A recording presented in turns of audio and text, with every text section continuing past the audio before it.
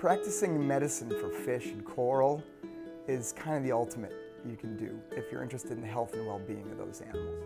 But I kind of knew all along I was going to try to go to veterinary school to save the ocean.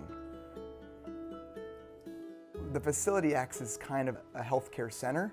People who have an outbreak of a disease can bring all of their fish here for boarding. I can actually travel out to see fish in their home tanks and prescribe medications but also we have fish coming in from aquaculture facilities and from the wild. We've got barracudas and lionfish. We have a baby horseshoe crab right now that lost its tail and we made a prosthesis for it with the interns. Before they looked us up online or heard about us from friends, not many people knew that such a thing existed as a fish veterinarian. They tried a bunch of things or essentially had, had kind of given up. But when we do a turnaround for the health of their fish or their coral, uh, it's, it feels good. It's a miracle.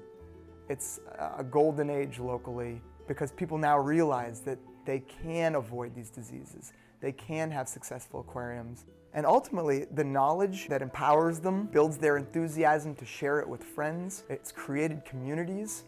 I'm trying to bring it full circle and, and have a, a whole connected picture of we take good care of our fish tanks, we start to be enthusiastic about their growth and success, and we care more about the resource that is the ocean.